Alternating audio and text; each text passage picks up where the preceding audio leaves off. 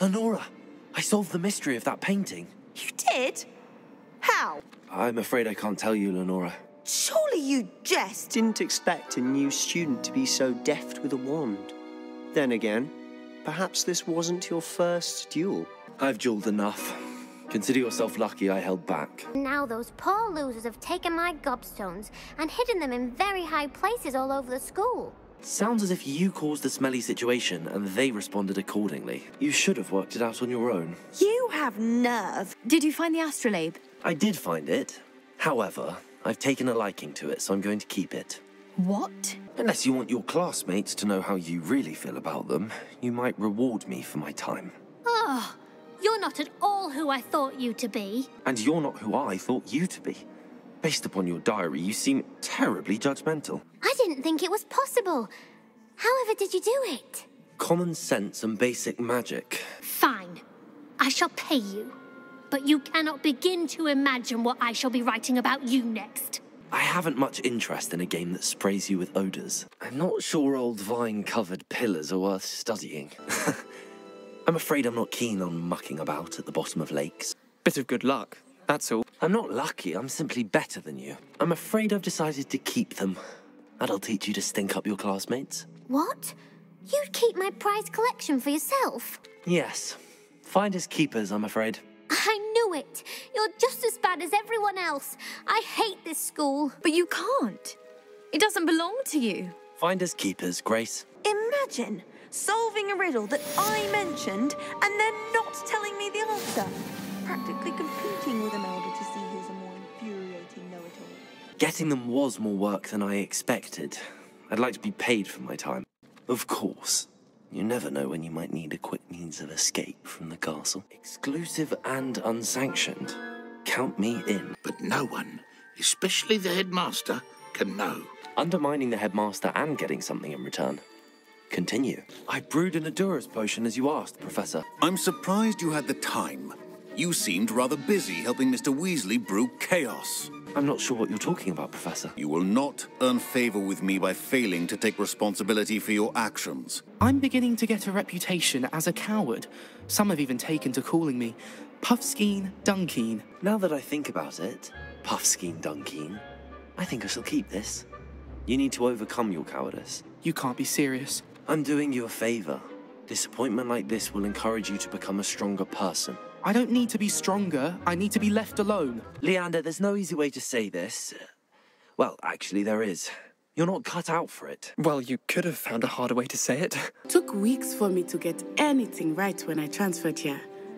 It gets easier, I promise. Thank you, but I've been holding my own. Hope your first day's going well. You certainly seem to hold your own in charms. Thank you, but it really wasn't all that challenging. Now people think you're a competition. I can't be having that. Perhaps I am competition. Typical Slytherin trick, dropping a dragon skull on someone during a fight. We Gryffindors fight with honor. Uh, no offense. Sorry. Am I right in suspecting that a Slytherin like you might be interested in making an escape from class? Can't say no to that. I swore to Ominis I would safeguard this place.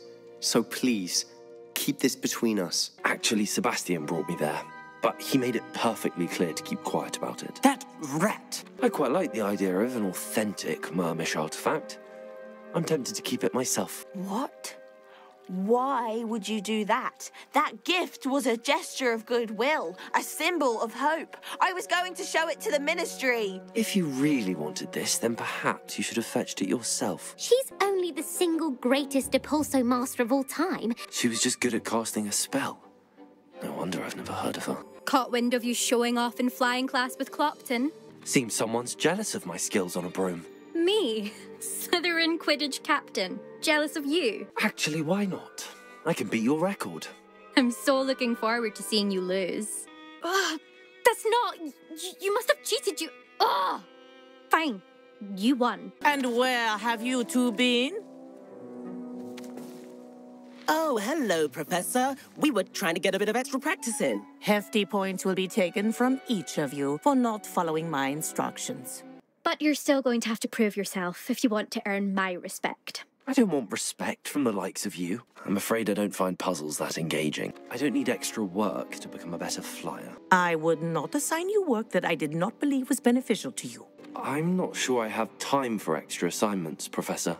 You shall find the time. Seems like a poor choice of inventory. Surely that's obvious. You don't mind sharing your opinions, do you? Nearly attacked by wolves, I was. Only just escaped with my life. I need to be better prepared next time. Could use some thunder brew. I don't suppose a student like yourself would be in possession of such a thing? You should be able to take care of yourself. I'm not giving you anything. How cruel! Calling me a liar? I don't need the help of someone so rude. I need a little something. Something to protect me if I run into them again. Maxima potion. That would do it. If you can't defend yourself, you'd be better off staying out of their way. I'm not giving you charity. You'll be sorry. When Ranrock's loyalists come to take me away, you'll be sorry then. Incredible! Then you found Herodiana's outfit. May I see it? You were right about how spectacular it is. Which is why it's a pity you didn't find it yourself. You double-crossing cur. After all, the future's mine for the taking. And I shall take what I must. We need to see what they're doing. I say we take them head on. Let's bury some enemies. Very well. Perhaps it was your dealings with Fruipers that led you to the precarious idea of stocking diracles. Oh, you are well and cheeky, aren't you? Oh, you won't believe it. Truly, but his feet were turned into purple beets. Beets for feet. how hilarious. I mean, how, how terrible.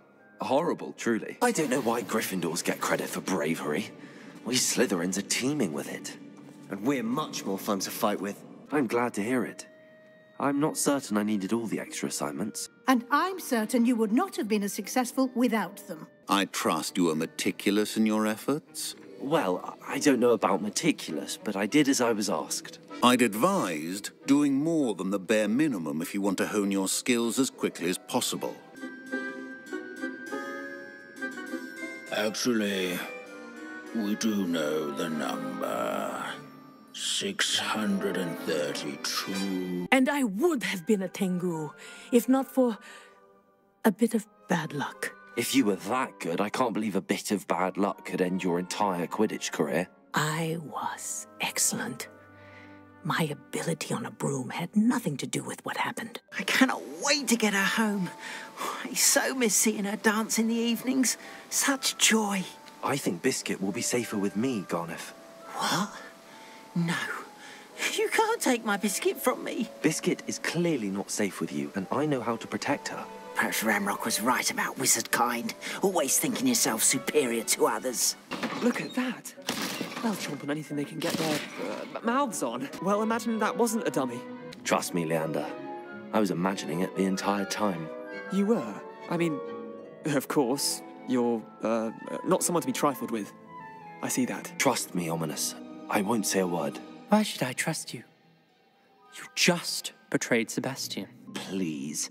I was trying to defend him. Should never have trusted you. Should never have trusted them. You'll all be sorry when I learn some more spells. I hope your new astrolabe brings you nothing but sorrow. I just hope you haven't set relations between wizard kind and mer people back decades. May I never be so unfortunate as to cross paths with you again. Wish I'd never told you about my gobstones. I met you. If it isn't the second best Slytherin. Of course it's another trial. And you'd better be taking part. So, what? You finally scared everyone else away? That was nothing. I'm just getting started. I thought I could beat you. Appears I overestimated myself. More like you underestimated me. That was your mistake. Fair enough. But a little sporting spirit wouldn't hurt you. Hello, Grace. What are you doing here? You've a nerve, speaking to me after what you did. And your contribution was invaluable. Rest assured, you shall be credited in my memoirs one day. Whatever you say, Amit. Whatever you say. Delivering those potions was a bit more work than I'd expected. I'd like an additional fee. I suppose that's business for you. Very well, I shall increase your pay, but I'm not at all pleased about it. I hope you're taking good care of my priceless family astrolabe. I'm just here for Summoner's Court. Fine. Would be nice to take you down a peg. I assume you're ready? I'm game. Well, let's see what you're made of. Ha! Wasn't enough you kept my family astrolabe, was it? You had to beat me at Summoner's Court as well. There wasn't much to it. You really are insufferable. If you ever meet my gran, this trip never happened. Keeping things from Gran, aren't we? I think she worries I'll do something ill advised. Whatever gave her that idea? Miss Moffat, I called Gwenira. That's incredible! Was it terribly difficult? Ah, not too bad, if you know what you're doing. Don't be so humble about it. How's my sweet Rococo? May I have him back? Actually, he's taken a liking to me, so I've decided to keep him. What? Well, may I have her now? Actually, I think she'll be safer with me. But it was my idea to rescue her. I'm the one who fell in love with her beautiful plumage. I can see why you didn't want to go. She was quite cantankerous. You may have beaten me, but your next opponent is sure to take you down a peg, which will be a joy to see. I should have faced my fears and gone after it myself. Perhaps you should have. You traitorous fowl napper. I hope she pecks your eyes out. You don't deserve to possess such an invaluable and historic outfit. Pinch Smedleys will always look upon you as a blackguard and an enemy. If a wizard can't count on someone in the wizarding community to help against goblins, what has it come to? Puffskein Dunkin is still all I hear. Thanks for being an utter waste of time. May you never have a moment's peace with him. Better hope the wolves don't get you. You won't receive a drop of help from the likes of me. Ferdinand Pratt is a pustulant boil, and he's lucky I didn't have him sealed in a wall. He truly is rather foul, isn't he? Now, don't just stand there. I need to be back by cocktail hour. What if I don't want to return you to the Three Broomsticks? What on earth do you mean? I could just burn you and be done with it. I'd like to see you try. You really oughtn't have said that. Confringo! Are you. Are you burning me? Oh. Miss Broom, a word. Oh, Professor, this is an uh, interesting surprise. It's Bloom, by the way. Remind me of your area of affinity, Broom. OWLs are swift approaching. Charms, sir. Non-verbal spells. Might work on one that makes me disappear. Well, keep at it, Broom. And before you know it, you'll be as invisible as that new fifth year seems to be. Well, they're as good as invisible to me, sir. Rotten little extortionist holding my diary hostage. What was that, Broom? Uh, nothing, sir.